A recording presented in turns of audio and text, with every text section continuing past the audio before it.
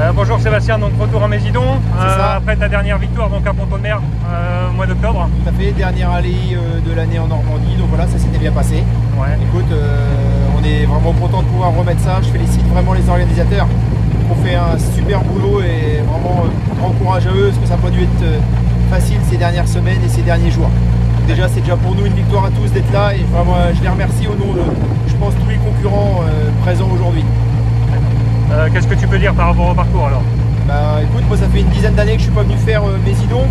Euh, la spéciale dans le centre-ville de Mésidon, on la connaît plutôt pas mal. L'autre, moi je la connais pas. Euh, mais après voilà, bon, c'est sympa, c'est varié, c'est vite, très vite. Après j'espère que la météo va se tenir sur le sec parce que ça peut être vraiment sympa.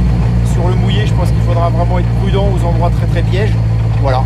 Écoute, Donc l'objectif, L'objectif, une reprise, euh, une bonne reprise pour tout le monde, se lâcher, se faire plaisir.